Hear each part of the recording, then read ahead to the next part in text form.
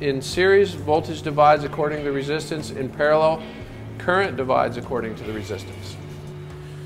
Finally, this one shows a path of power flowing from the total, total utility company, for example, coming up here and coming down and going into this tank and then coming down here to our load.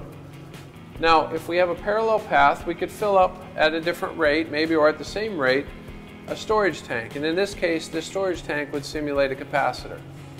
So we could take our watts and our VARs from the utility company and fill up this tank and then fill up our load with our watts and our VARs.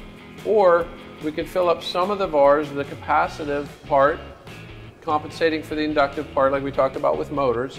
So watts and VARs flow this way, VARs could flow this way, but at the end of the day, our total load is here, and that's what, we what we care about. And where we get it from is here. And so we put all this together to show power flow.